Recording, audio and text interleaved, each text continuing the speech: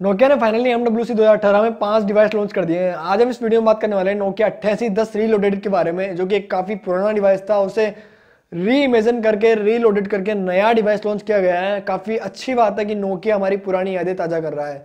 आज हम इस वीडियो में नोकिया अट्ठासी, दस के बारे में बात करने वाले हैं। आपको बताएँ कि फ़ोन कब तक लॉन्च होगा, किस प्राइस में मिलेगा, और क्या आपको खरीदना चाहिए या नहीं खरीदना चाहिए।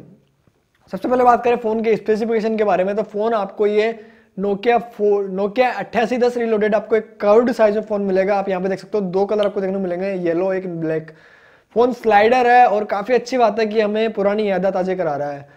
एक स्मार्टफ़ोन के जमाने में स्लाइडर फ़ोन क्यों लॉन्च किया? है नोकिया ने इसलिए लॉन्च किया कि जो फ़ोन जो लोग एक कीपैड फ़ोन यूज़ कर रहे हैं, वो कीपैड में भी फोर की सर्विसेज़ आनंद ले सकते हैं। तो ये फ़ोन फोर के साथ में उपलब्ध होगा। इसमें जो हॉटस्पॉट की सुविधा आपको देखने को मिलेगी। साथ ही में इसमें एप्स भी आप डाउनलोड कर सकते हो। इसमें जो सॉफ्टवेयर वर्जन रहेगा, वो काई ओएस का रहेगा। वो काई ओएस का रहेगा। रैम की बात किया तो 512 सौ की रैम आपको इसमें देखने को मिलेगी और साथ ही में आपको चार जीबी की इंटरनल स्टोरेज देखने को मिलेगी। वाईफाई का जो बैंड है, इसमें 802.11 वाला बैंड आपको इसमें सपोर्ट देखने को मिलता है। आप इसमें वाईफाई भी कनेक्ट कर सकते हो और हॉटस्पॉट के द्वारा अपना इंटरनेट भी शेयर कर सकते हो। फ़ोन में आपको ब्लूटूथ का सपोर्ट भी देखने को मिलेगा। फ़ोन में आपको एफएम रेडियो का सपोर्ट मिलेगा। फ़ोन में जो पावर की दी गई है, वो साइड में दी गई है। आपकी बार जो रेड बटन है, वो नहीं दिया गया है। पावर की आपको साइड में देखने को मिलेगी। फ़ोन में आपको टू में आप का रियर कैमरा दिया गया है, जो कि विद फ्लैश आता है। फ़ोन में बैक साइड में बात की जाती है यहाँ पे एक स्पीकर दिया हुआ है, जो कि काफ़ी अच्छा है। फ़ोन को जैसे आप स्लाइडली डाउन करते हो कवर खोलते हो तो फ़ोन की लाइट ऑटोमेटिकली जल जाएगी। पुराने वाले नोकिया की आपको याद दिलाएगा इसमें। तो साथ ही आपको ऐप स्टोर भी देखने को मिलेगा। ऐप स्टोर से आप फेसबुक वगैरह, जो भी चीज़ें आप डाउनलोड कर सकते हो, आप ईमेल सिंक कर सकते हो, सारी सुविधाएँ आपको इसमें दी जाएगी, जो कि एंड्रॉइड में दी जाती है। एक रेवोल्यूशन यहाँ पे जो फीचर फ़ोन यूज़ करते हैं, उनके लिए ये रेवोल्यूशन दिया गया है।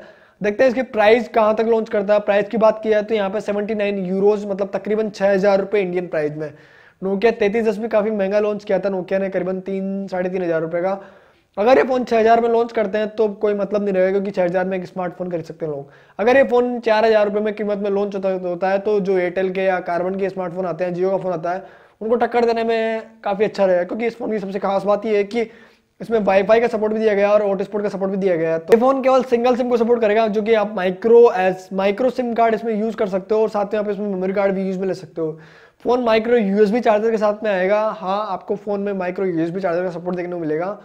फ़ोन की डिज़ाइन काफ़ी अच्छी डिज़ाइन वाइज फ़ोन काफ़ी प्रीमियम लग रहा है। आप देख सकते हो फ़ोन काफ़ी प्रीमियम फील हो रहा है। कर्ड साइज़ में फ़ोन आपको देखने को मिलेगा। फ़ोन का नाम बनाना फ़ोन दिया गया है, जो कि काफ़ी अच्छी बात है क्योंकि बनाना की शेप में ये कर्ड दिया गया है। अगर आप अब भी नोकिया के दीवाने हो या नोकिया के लिए आपके दिल में जगह है तो आप नोकिया का ये फ़ोन खरीद सकते हो। मतलब स्पेशली जब लॉन्च होगा, ये करीबन मई में लॉन्च होगा।